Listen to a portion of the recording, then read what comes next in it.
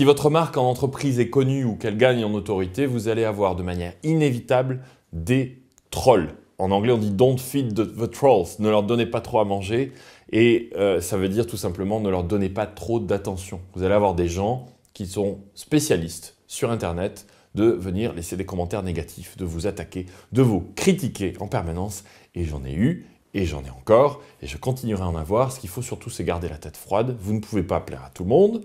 Et si vous êtes une marque entreprise connue, vous ne pouvez pas non plus euh, vous affranchir d'avoir ces critiques. Il y aura toujours des gens qui n'aimeront pas votre produit, et il y aura surtout des gens qui vont être très négatifs. Alors ce qu'il faut, c'est faire la différence entre les vrais commentaires négatifs et les trolls. Alors les commentaires négatifs, surtout ne pas les supprimer, parce que en général, qu'ils soient justifiés ou pas, eh bien c'est quand même quelqu'un qui a pris le temps de le laisser. Donc ce que je vous recommande, c'est si vous avez une, crise qui se déclenche ou si vous avez euh, euh, toute une série de commentaires négatifs sur un produit, c'est d'écrire une note sur votre blog ou sur Facebook et de lister tous les aspects négatifs et d'y répondre, les uns après les autres, de manière transparente, ne pas les cacher.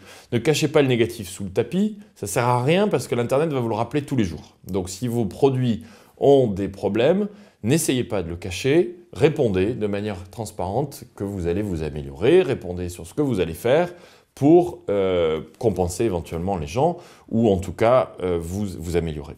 Mais surtout, n'essayez pas de les supprimer ou n'essayez pas de, euh, de les cacher. Répondez de manière honnête et transparente.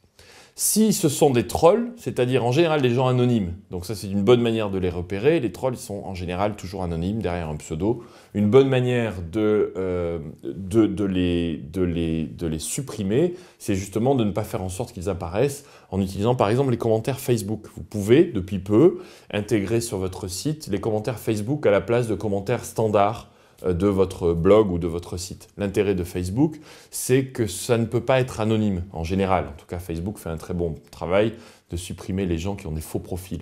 Donc il faut que ce soit leur profil, leur tête, il faut que ce soit leur nom. Ça, ça limite pas mal les, trolls. Ensuite, eh bien sur Twitter, vous pouvez bloquer les gens, vous pouvez les reporter comme euh, des faux profils sur Facebook. Il y a toute une série de choses que vous pouvez faire. C'est assez inévitable. Mais la bonne nouvelle, c'est que vous pouvez de plus en plus les ignorer. Et à nouveau, ne leur donnez pas trop d'attention parce qu'il y a des gens qui sont là juste pour essayer de vous nuire et qui font partie du paysage sur Internet. Il ne faut pas trop qu'ils puissent rentrer dans votre, esprit. Il ne faut pas que vous vous en encombriez de trop parce que sinon vous allez vous concentrer sur cela. Laissez faire, ne leur accordez pas d'attention et ça se passera très bien.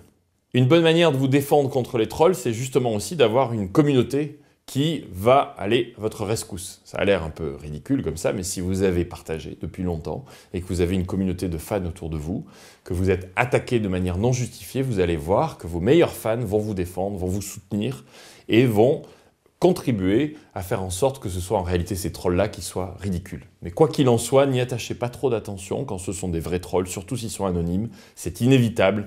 il ne faut surtout pas euh, qu'ils vous, euh, accaparent trop votre, votre esprit parce qu'ils seront toujours là, et plus vous les ignorez, et mieux ce sera euh, pour, votre, pour la gestion de votre marque.